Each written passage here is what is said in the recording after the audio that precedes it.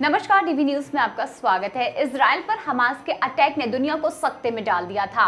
भारत ने ऐसी कोई हरकत आतंकी ना कर सके, इसके लिए सुरक्षा एजेंसियों पर अलर्ट जारी कर दिया है। आपको बता देते हैं, पहली बार कश्मीर पुलिस ने आतंकियों के हमदर्दों की निगरानी करने के लिए खास तकनीक का इस्तेमाल किया है। तो वहीं सीमा पार से आतंकियों की साजिश को फेल करने के लिए ड्रोन से कड़ी पहरेदारी की जा रही है। बता दें कि इसराइल में हमास के सरप्राइज़ अटैक के बाद बॉर्डर पर भारत भी सतर्क है। सात अक्टूबर के आतंकी हमले के बाद जम्मू कश्मीर में सुरक्षा पर निगरानी अब पहले के मुकाबले कहीं ज़्यादा बढ़ा दी गई है। एक तरफ़ भारत बॉर्डर पर सतर्क हो गया है तो दूसरी ओर आतंक के समर्थकों को लेकर भी सचेत हो गया है। आतंकवाद से जुड़े केस में ऐसी आरोपी जो जमानत पर जेल से रिहा हुए हैं, उन लोगों पर अब जम्मू कश्मीर पुलिस खास निगरानी कर रही है। इसके लिए उन पर अब सैटेलाइट से नज़र रखी जा रही है।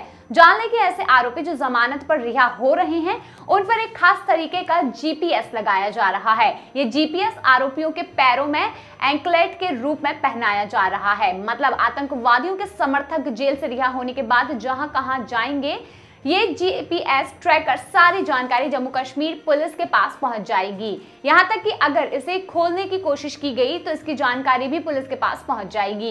यानी टेरर लिंक का अब कोई आरोपी गायब नहीं हो पाएगा। आतंकी के आरोपियों की निगरानी के लिए इस तरह ट्रैकिंग सिस्टम का इस्तेमाल करने वाला जम्मू कश्मीर देश का पहला राज्य है।